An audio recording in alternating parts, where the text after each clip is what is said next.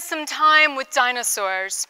Dinosaurs have spent most time coming to life in our imagination. And so, from imagining them as these oversized lizards shortly after their first discovery, and through time imagining them as sensitive or vicious, or even highly intelligent creatures, we've imagined how they might move, what they might look like, and even their colors and other aspects of their behavior. So it's truly a, you know, although we've had these dinosaurs in our imagination for so long, we're going to banish them here. And if I can find Manny's hand here to shake it, we're going to send them back to where they belong in our imagination.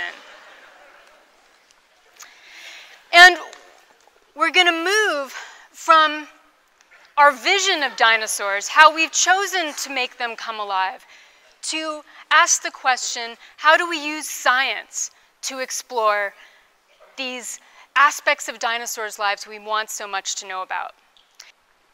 So we might go back to those first visions of dinosaurs, deep in the 19th century, as oversized lizards.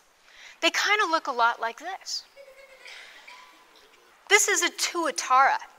So tuataras are in fact not most closely related to dinosaurs.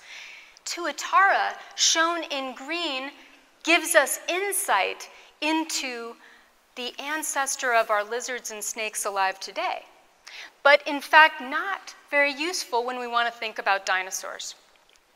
So in fact, where dinosaurs fall is most closely related to crocodiles and birds. So it's these animals that we want to think about when we're trying to make sense of what dinosaurs' secret lives might have been like and what they might have looked like. So if we look at living dinosaurs today, birds, and their closest cousins, crocodilians, then we can we see very different looks, very different aspects, very different ecologies or ways of being.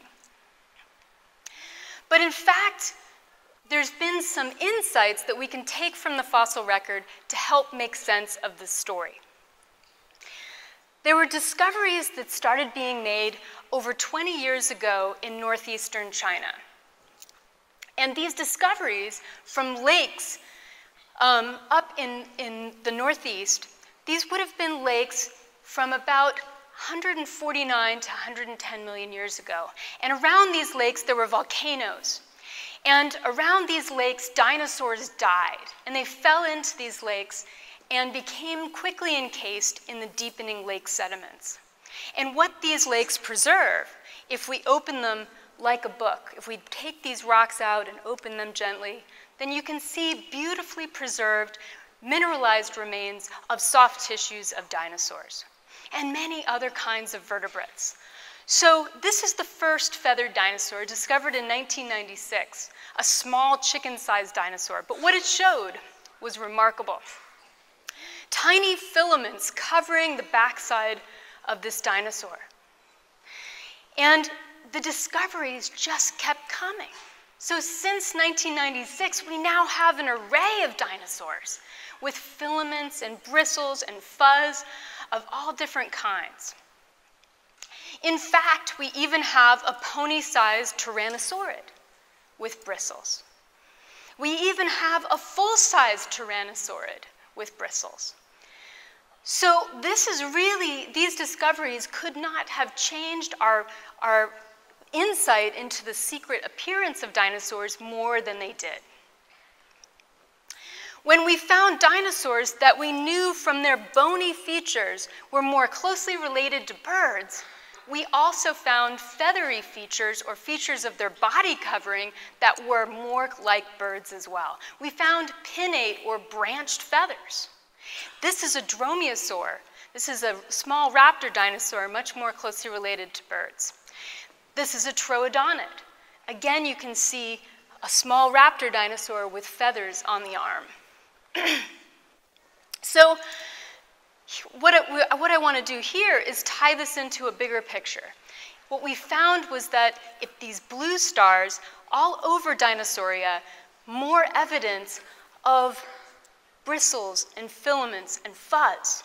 And in dinosaurs that were closely related to birds based on bony features, we found these branched feathers. So this is really a radical transformation in only 20 years of what dinosaurs looked like. We now know that in fact scales are a rarity. So we have evidence, fossil evidence of scales, but mostly those scales are found in groups of dinosaurs like the giant sauropods. Or they're found in ornithischian dinosaurs, which were the great group of dinosaur herbivores that we think may have gathered in large herds. So this is evidence, uh, fossil evidence of these scaly patterns, but they're rare. In fact, what we find is more groups of dinosaurs that have these bristles.